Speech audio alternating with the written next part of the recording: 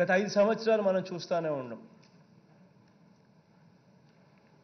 మన కళ్ళ ఎదుటనే ప్రైవేట్ స్కూళ్ళు ఏ రకంగా ఫీజులు బాదుతా ఉన్నా కూడా ఎవరు అడగలేని పరిస్థితి పట్టించుకోని పరిస్థితి.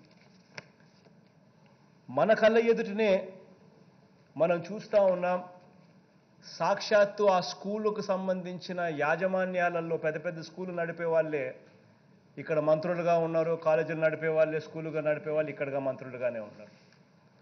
సో ఇక వీళ్ళే స్కూళ్ళకు సంబంధించి అటువంటి కాలేజీలకు సంబంధించి నడిపే ఆ పెద్ద పెద్ద వాళ్ళే ఇక్కడికి వచ్చి మంత్రులుగా ఉంటారు.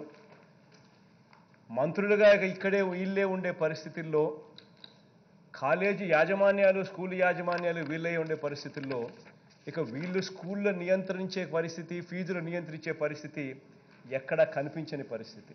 అంటే లాభ ఆపేక్షతో నడపాల్సిన ఈ వ్యాపారం స్కూళ్ళు నడిపే వ్యాపారం కాలేజీలు నడిపే వ్యాపారం కాదు అధ్యక్ష.